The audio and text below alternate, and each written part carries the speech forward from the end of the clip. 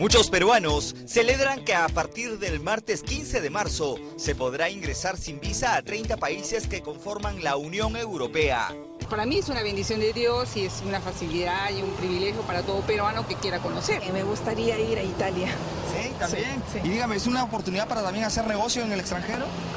Quizá, ¿no? Quizá, pero para como vacaciones, maravilloso, ¿no? Eh, me parece fenomenal que sea esa facilidad a todos los peruanos para que tengan nuevas oportunidades en, ese continente. Pues, pero ponga mucha atención. Si bien ya no será necesario contar con la denominada visa Schengen, todos los interesados en viajar deberán de cumplir con algunos requisitos. Caso contrario, podrían ser devueltos a su país de origen.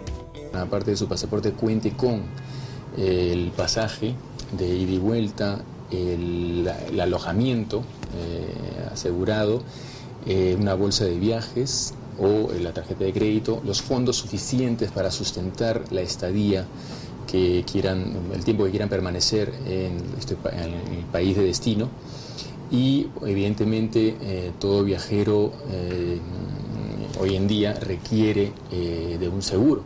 Los colombianos desde hace algunas semanas ya pueden visitar el viejo continente. Sin embargo, algunos de ellos no fueron aceptados en la Unión Europea.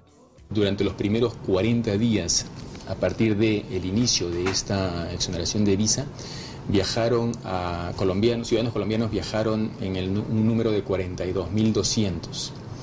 De estos 42.200, 33 fueron rechazados en el punto de entrada. ¿no? Lo cual em, estadísticamente es mínimo porque no llega ni al 0.01%, pero, valgan verdades, son 33 personas que han invertido su dinero, su tiempo, sus esperanzas y han tenido que regresar probablemente porque no reunían las condiciones eh, que ellos pensaban que tenían para poder ingresar al espacio Schengen. ¿no? Llegar a Europa es el sueño de muchos, principalmente para los grandes, pequeños y microempresarios, quienes serían los más beneficiados con la firma de este convenio. El tema de exportación es básico, el face to face, el negociar cara a cara.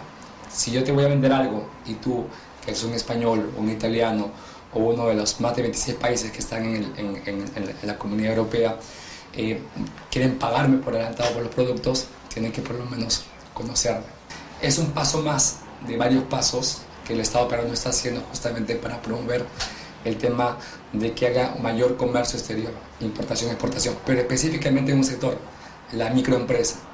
La firma del convenio será este lunes 14 de marzo.